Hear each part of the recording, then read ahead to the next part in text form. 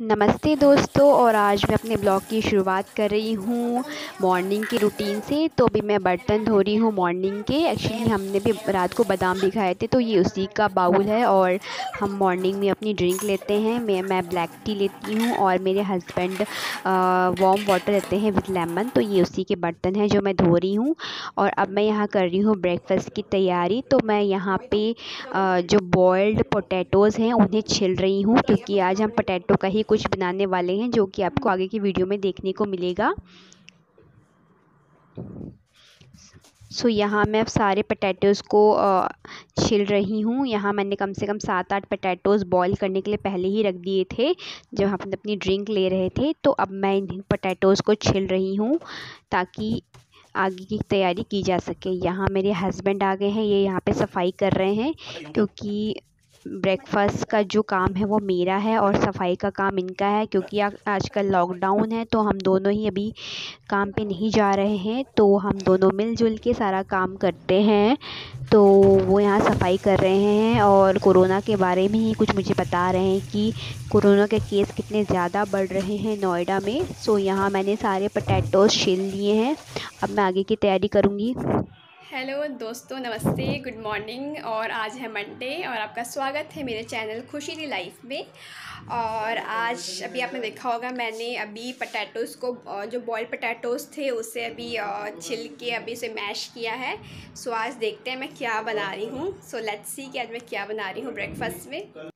सो ये रात को मैंने काले चने भिगा दिए थे। तो ये हम मॉर्निंग में खाते हैं जो कि बहुत ही हेल्दी होता है। इससे आपको होमोग्लोबिन की कमी नहीं होती है और ये फुल ऑन प्रोटीन से भरा हुआ होता है।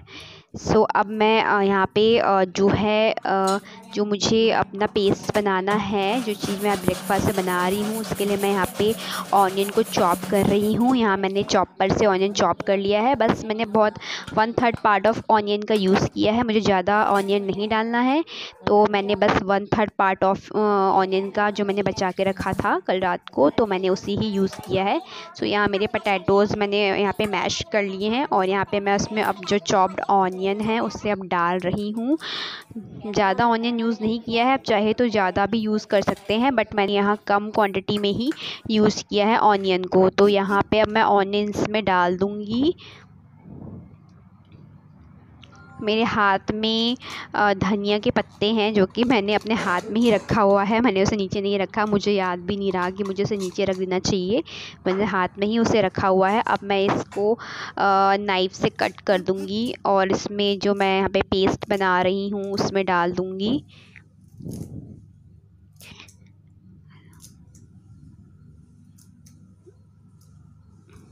तो मैंने ये कट कर लिया है। अब हम इसमें थोड़ी सी ड्राई चिली काट के डाल देंगे। जो कि बहुत ही अच्छी होती है। आप चाहे तो घर में ही चिली का पाउडर भी बना सकते हैं। जो हमारी जो चिलीज़ होती हैं, उन्हें धूप में सुखा लीजिए, चार पाँच दिन वो सूख जाएँगी, उसके बाद उसे घर में ही ग्राइंड करके यूज़ कीजिए, वो ज़्यादा हेल्दी होती है। अब मैं यहाँ पे स्पाइसेस ऐड कर रही हूँ, मैं यहाँ बस तीन स्पाइसेस ऐड करूँगी, यहाँ थोड़ा सॉल्ट ऐड कर रही हूँ। और यहाँ मैंने थोड़ा सा लिया है चिल्ली पाउडर, और थोड़ा सा मैंने यहाँ पे गरम मसाला यूज़ किया है।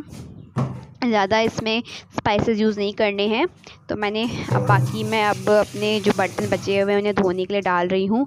अब मैं इसे अच्छे से मिक्सअप कर लूँगी एक साथ, ताकि मेरा पेस्ट जो है वो रेडी हो जाए। तो मैं इसे चम स्पून से मैं इसे अच्छे से मिक्स कर लूँगी। अब यहाँ आप देख सकते हैं कितना मैसी हो गया है। वीडियो शूट करना बहुत ही ज़्यादा मुश्किल हो जाता है स्पेशली किचन में क्योंकि आपका बहुत मैशअप हो जाता है और यहाँ आप देख सकते हैं कितना मैसी हो गया है।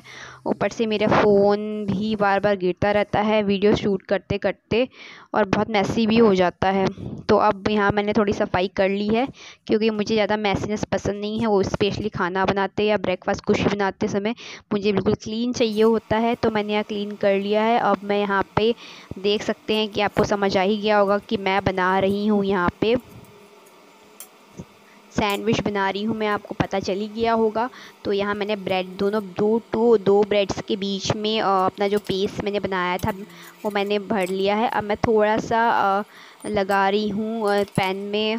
ऑयल और मैंने इसमें लगा दिया। आप इसमें ज़्यादा ऑयल मत यूज़ कीजिए। आप चाहे तो मक्खन भी यूज़ कर सकते हैं। बहुत हेल्दी होता है। और ये अनहेल्थ क्योंकि जो जो मैंने यहाँ पे ब्रेड यूज़ किया है, वो भी वीट का ब्रेड है। कोई मैदे का ब्रेड नहीं है जो हार्मफुल होते हैं। तो मैं most of the time wheat का ब्रेड ही यूज़ करती हूँ। हमने मैदे का ब्रेड खाना ही बंद कर दिया है, जो कि अनहेल्दी होता है बॉडी के लिए। तो ये बहुत अच्छी चीज़ है मॉर्निंग ब्रेकफास्ट के लिए। आप चाहे तो इसमें वेजिटेबल्स वगैरह भी यूज़ कर सकते हैं इन चीज़ में डाल के। आप चाहे तो पटैटोज़ में कुछ वेजिटेबल्स काट के चीज़ डाल के भी इसमें आप बना सकते हैं। बहुत ही टेस्टी लगता है खाने में और बहुत झटपट बन जाता है।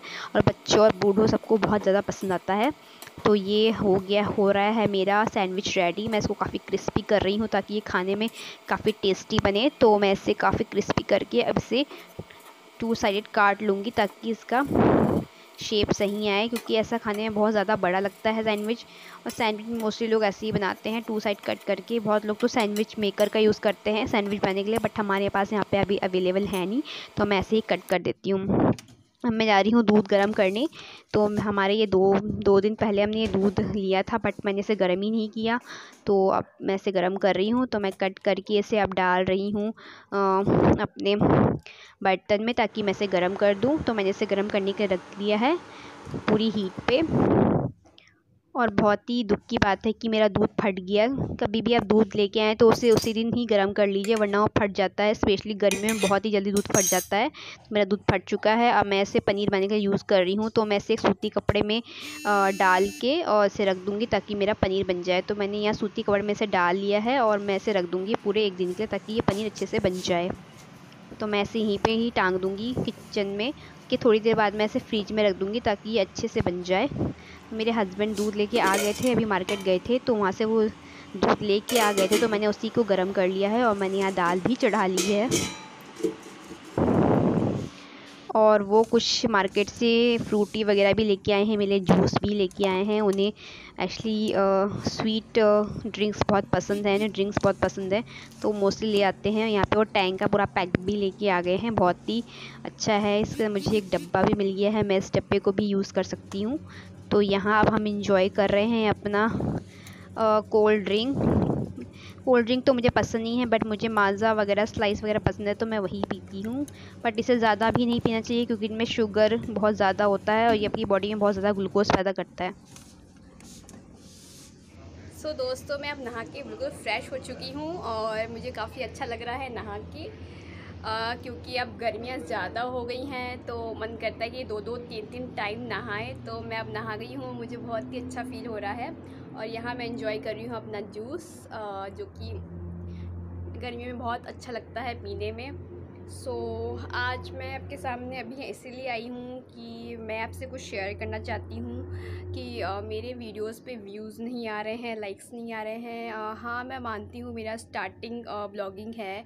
मुझे अभी इतने अच्छे से क्रिएट करना नहीं आता है बट मैं ट्राई कर रही हूँ और अगर मेरी चैनल को अच्छे व्यूज़ और लाइक मिलना स्टार्ट हो जाएँगे तो मैं बहुत जल्दी आपके साथ ब्यूटी ब्लॉग्स शेयर करूँगी। ब्यूटी और ब्यूटी टिप्स को लेके बहुत चीज़ें सामने लेके आऊँगी। बस स्टिल मेरे अभी चैनल को लाइक्स नहीं मिल रहे हैं व्यूज़ नहीं मिल रहे हैं। तो अभी मेरा मन भी थोड़ा नहीं कर रहा है। अगर मेरा चैनल अच्छे से चलेगा तो मैं आपके सामने बहुत सारी चीज़ें लेके आऊँगी जो आपसे शेयर करना चाहती हूँ।